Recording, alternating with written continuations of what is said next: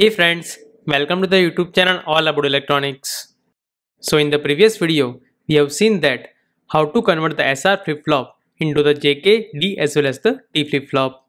So in the second part of this video, we will see that how to convert the JK flip-flop into the SR, D as well as the T flip-flop. So in the previous video, we have already seen the block diagram of the flip-flop conversion. And we have seen that during the flip-flop conversion, we need to design the combinational circuit in such a way that we can use the one flip-flop as the another flip-flop. And then we have also seen the different steps which we need to follow during the flip-flop conversion. So using all these steps, now let us see how to convert the JK flip-flop into the SR flip-flop. So here, since the SR flip-flop is our required flip-flop, so first of all, let us write down the truth table of this SR flip-flop. So as you know, for the SR flip-flop, when both S and R inputs are 0, then the flip-flop retain its current state. Similarly, when this S is 0 and R is 1, then the flip-flop will get reset to 0. Likewise, when this S is 1 and R is 0, then the flip-flop will get set to 1. And whenever both inputs are 1, then the output of the flip-flop is indeterminate.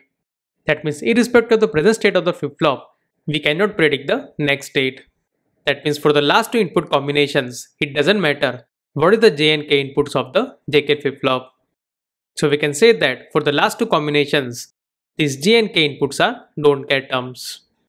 But for the remaining output transitions, let us find the required J and K inputs. And for that, we will take the help of the excitation table of the JK flip-flop. So in the earlier video of the JK flip-flop, I have already explained that how to draw the excitation table of the JK flip-flop. So for more information you can check that video. So using this excitation table of this JK flip-flop, we can easily complete this table. So as you can see from this excitation table, for this 0 to 0 transition, the required J and K inputs are 0 and X. Similarly, for this 1 to 1 transition, the required J and K inputs are X and 0. Likewise, for this 0 to 0 transition, this j and k should be equal to 0 and x. Similarly, for this 1 to 0 transition, this j should be equal to x while the k should be equal to 1. And likewise, we can complete entire table. So in this way, we found our required j and k inputs to get all these transitions. So now, since jk flip-flop is our actual flip-flop, so now let us find the expression of the j and k inputs in terms of the s, r and the qn. And first, let us find the expression of the j in terms of the s, r and the qn. So if you see over here, then this j input is 1 only for the one input combination of this s, r and the qn that is equal to 1 0 0. And if you see the corresponding min term, then that is equal to m4. And further if you see, then the 5 input combinations are the don't care terms. So if you see the corresponding min terms, then they are m1, m3, m5, m6 and m7. So first of all, let us write down all the min terms in the k map and let us try to minimize the expression of the j. So here, all the don't care terms as well as the min term for which this j input is equal to 1 is represented in the k map. So if you observe over here, then using the don't care terms 5, 6 and 7, we can make this group. And if you see, then this group corresponds to S. That means we can say that this J input is equal to S. Similarly, now let us find the expression of the R in terms of the S, R and the Qn. So once again if you notice over here, then this K input is equal to 1 only for the one input combination that is equal to 0, 1, 1. And if you see the corresponding min term, then that is equal to M3. But apart from these, there are 5 don't care terms. And if you see the corresponding min terms, then they are M0, M2, M4, M6 and M7. So once again, now let us write down all these min terms in the K map and let us find the simplified expression of the K. So if you notice over here, then once again, using the three don't care terms, we can make the group of these four min terms. And if you see, then this group corresponds to R because in this group, this variable r is not changing and its value is equal to 1. Therefore, this group corresponds to R. And by making this group, we are able to cover all the ones in the K map. So we can say that the expression of the k is equal to r. So in this way, by solving the two k maps, we got the expression of the j and k. So here, this j is equal to s, while the k is equal to r.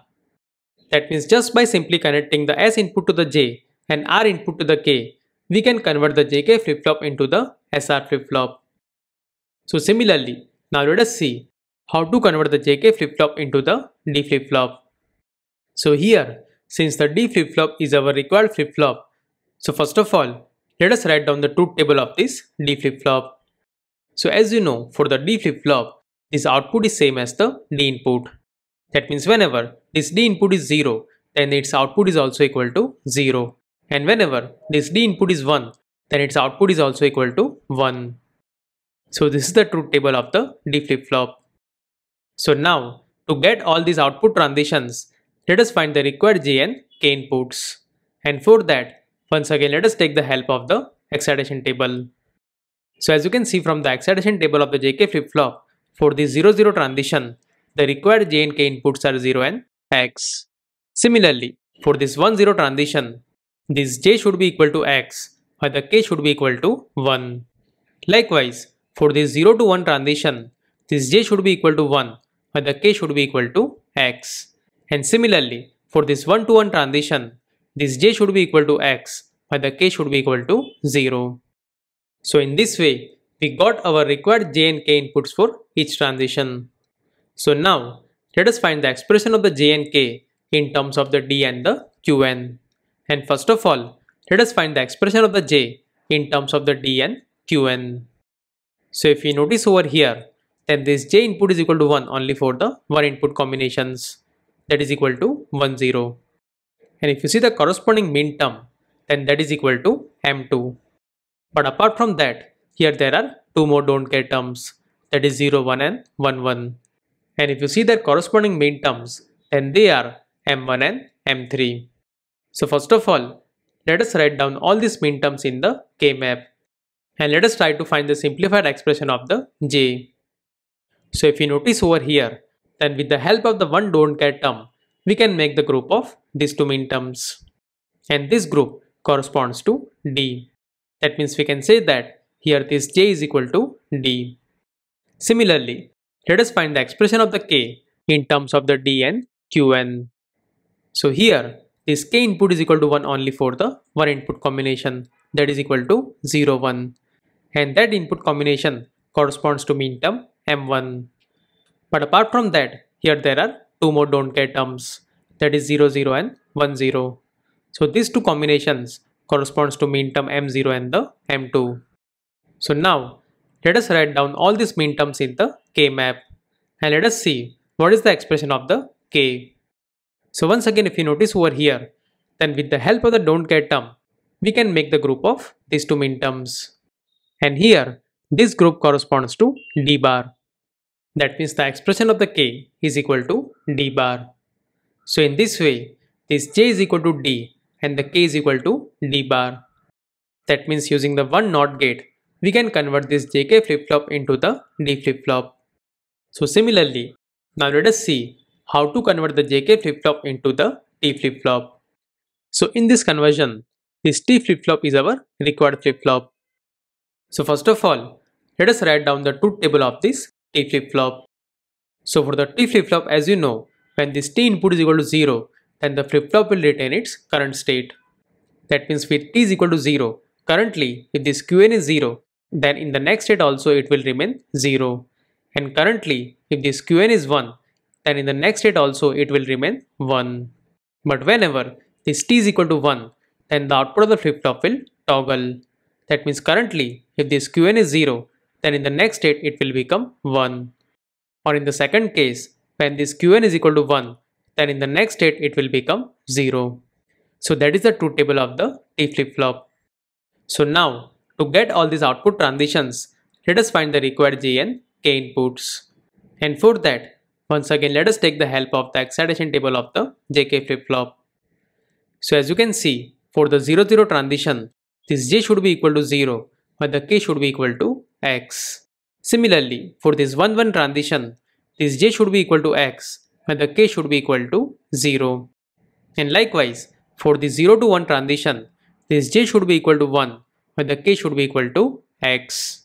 And similarly, for this 1 to 0 transition, this j should be equal to x where the k should be equal to 1. So in this way, with the help of the excitation table, we got the required j and k inputs to get all these transitions.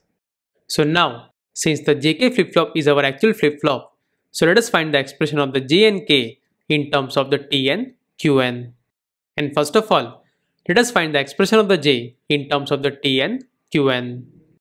So if you notice over here, then this j input is equal to 1 only for the one input combination that is equal to 1 0 and that input combination corresponds to min term m2. But apart from that, here there are two more don't care terms that is 0 1 and 1 1 and these two don't care terms corresponds to min term m1 and m3.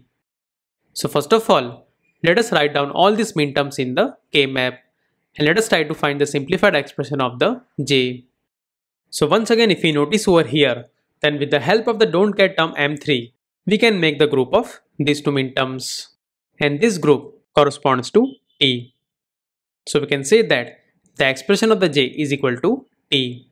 Similarly, let us find the expression of the k in terms of this t and qn. So if you see the column of the k, then here this k is equal to 1 only for the one input combination that is equal to 1 1 and this input combination corresponds to min term m3.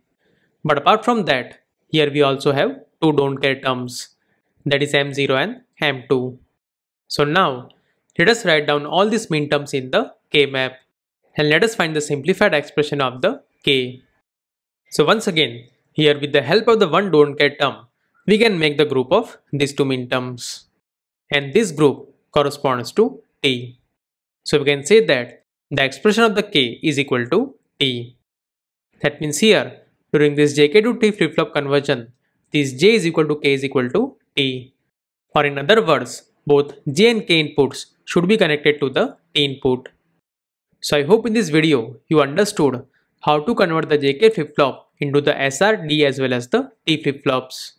So similarly, in the next part of the video, we will see that how to convert the D flip-flop into the JK flip-flop, SR flip-flop and the T flip-flop. So if you have any question or suggestion, then do let me know here in the comment section below. If you like this video, hit the like button and subscribe the channel for more such videos.